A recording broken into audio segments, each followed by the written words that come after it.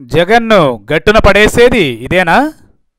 YCP అధినేత జగన్ ప్రత్యేక హోదా ప్రధాన ఎజెండాగా ఎన్నికలకు వెళ్ళనున్నారు ఇప్పటికే నవరత్నాలను ప్రకటించిన జగన్ పాదయాత్ర ద్వారా వివిధ పథకాలను ప్రకటిస్తూ వెళుతున్నారు.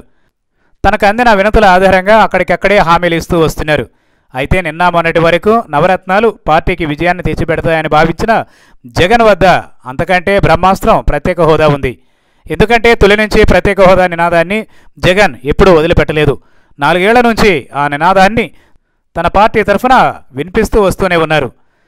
యువభేరుల పేరిట రాష్ట్రంలోని అన్ని జిల్లాల్లో సమావేశాలు నిర్వహించారు. గుంటూరులో ఎనిమిది రోజుల పాటు ఆమరణ దీక్ష హోదా కోసం చేశారు.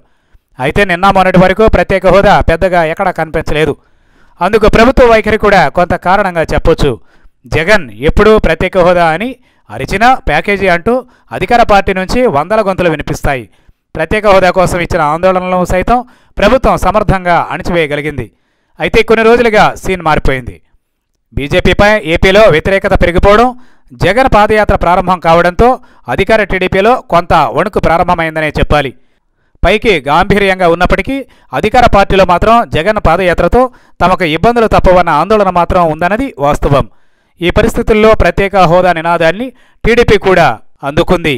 ఒత్తిడి తేవాలని నిర్ణయించి అది సాధ్యం కాదని తేలడంతో మంత్రివర్గం నుంచి తప్పుకోవాల్సి వచ్చింది. అయితే జగన్కు అదే కలిసి వచ్చిందంటున్నారు. నాలుగేళ్ళ నుంచి టీడీపీ మౌనంగా ఉండడం ఇప్పుడు ప్రత్యేక హోదా అంటూ కేకలు పెడితే ఎవరూ నమ్మరన్నది వైసీపీ నేతల భావన. అంతేకాదు వైఎస్ జగన్ మరో విషయాన్ని కూడా కుండబద్దలు కొట్టేశారు. ప్రత్యేక హోదా ఇస్తానన్న ఏ పార్టీతోనైనా తాను కలిసి నడుస్తానని చెప్పారు.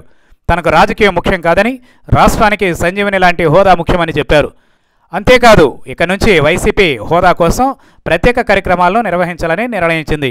ఇప్పుడు జగన్ పాదయాత్రలో కూడా చంద్రబాబు ప్రత్యేక హోదా రాకుండా ఎలా వ్యవహరించారన్నది పోసగుచ్చినట్లు చెబుతూ పోతున్నారు.